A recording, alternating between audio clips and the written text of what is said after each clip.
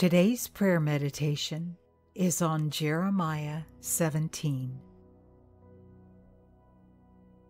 Your word is engraved on my heart. You have reserved a wonderful possession for me, and I will not let it slip from my hands by putting my trust in mere humans. I do not rely on human strength or turn away from you, Father.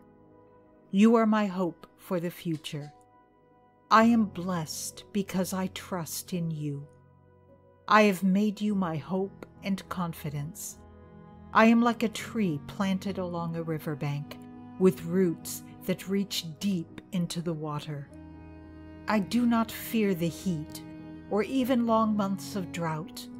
My leaves stay green and they never stop producing fruit. My fruit is dependable no matter what I face. My life is rich and productive. Father, you search my innermost heart and examine my innermost thoughts and secret motives.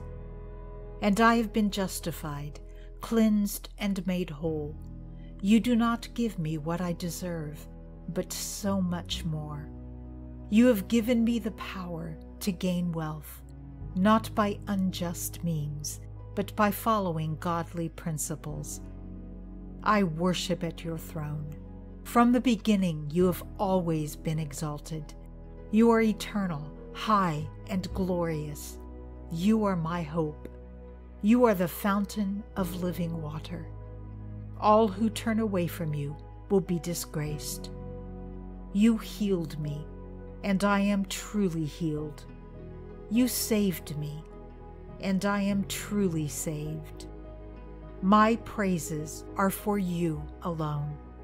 I have not run away from my calling. I go where you lead me, and I do what you ask me to do. You alone are my hope when disaster comes. You do not let me experience shame and dismay.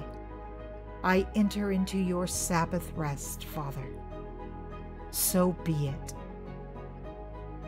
Until next time, be blessed and be a blessing.